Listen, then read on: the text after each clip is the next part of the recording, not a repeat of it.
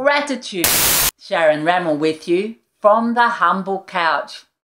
Gratitude is more than just a buzzword that we hear bandied about everywhere these days. I use it a lot.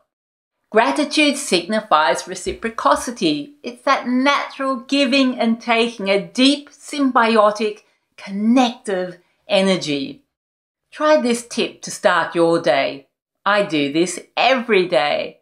Before you get out of bed for the day, simply look outside up to the sky.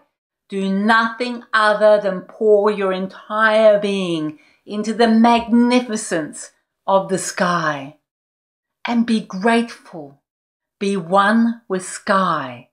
For then you will go on and have a great day because we're in 2020 and there is nothing more frustrating than a person born with great aptitude to science, to music, to poetry, to whatever, who does not dare develop the gift. And there's nothing more tiresome than somebody who talks endlessly about wanting to be an artist, wanting to be a scientist, wanting to be a teacher, but simply refuses to obtain the skills to achieve that goal.